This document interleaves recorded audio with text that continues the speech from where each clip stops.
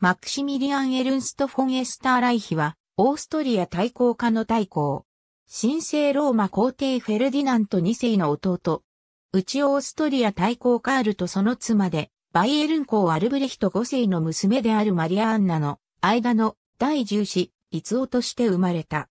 1592年、長子、アンナのポーランド王、ジグムント3世への腰入れに、母と共に随行している。1606年4月25日に、ウィーンにおいて、皇帝ルドルフ2世が、精神異常により統治不能となったため、マティアス大公がオーストリア対抗家の課長となるとした宣言に、兄の内オーストリア失政フェルディナント大公、ゲオストリア失政、マクシミリアン大公、上、オーストリア失政、マティアス大公と共に共同で署名した。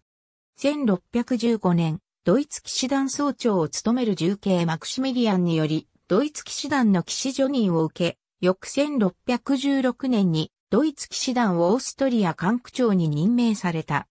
さらに騎士団総長の後継者職である補佐司教に任命され、総長職を継ぐことが決まったが、その年のうちに33歳で死去した。意外は、絶カウ修道院内の教会堂に葬られた。アカデミーデア・ウィスンシャフトン・イン・ウィーン、ヒストロシャ・コミッション、アーカイブ・フィア・オースター・ライキシュゲシヒテ、バンド15、バーラフ・デア・オステリキシャン・アカデミーデア・ウィスンシャフトン、1856、S116、ヨハンス・ポーシュル、ゲシュヒテ・デ・インツト・ヘンズ、でワッチスチャムズウントデアグロザデアオステリキシャンモーナーシ、バンド4、F オックマール、1844、S236、アントンスキンドリング、ワルター・ジーグレル、大カイザーデアノイツァイト、1519から1918、CH ベック、1990、S118、カイザーリーシェアカデミーデアウィスンシャフトン、アーカイブフィアオスターライキシゲシヒテ、バンド33から34、オステリキシャンアカデミーデアウィスンシャフトン、1865、S236 フリードリヒエマニュエル・フォン・ハーター、ゲシヒテ・カイゼル・ファーディナンズ、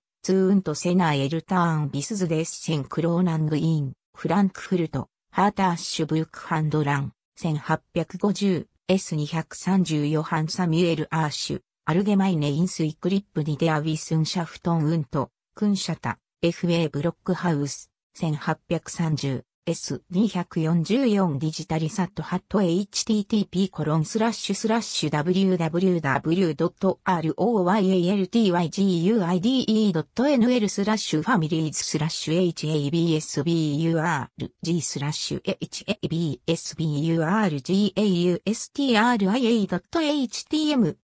ありがとうございます。